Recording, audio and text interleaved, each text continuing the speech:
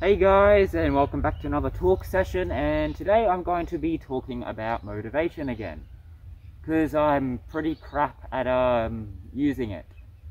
You see I get motivation at the worst of times. Say I'm in the car driving somewhere for three hours and I can't do anything. I get motivation to pretty much just go build an entire city. Something like that.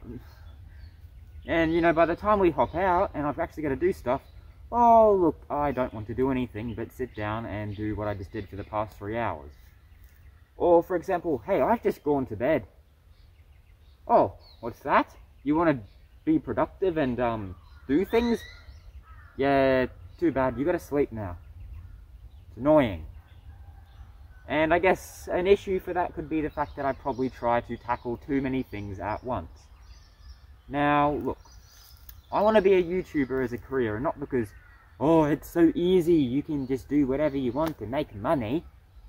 Uh, at the end of the day, it's really not that easy. It's actually quite a lot of work, mind you.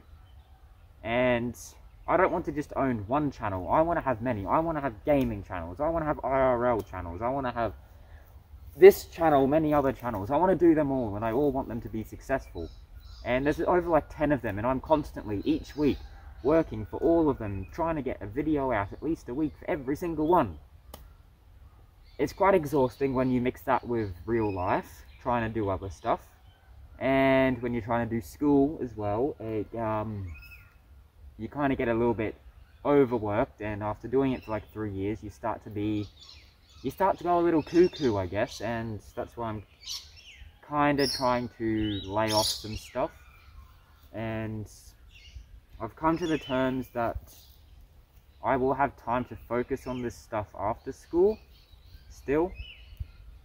But while I'm still in school, I'm going to try shift my focus so that I have the motivation to get my work done and to learn how to drive. In spooky, I'm pretty sure I'm going to be pretty crap at driving at first. I'm not looking forward to that, but update on that soon, don't worry. If you've been wondering what happened with that, I will give an update soon.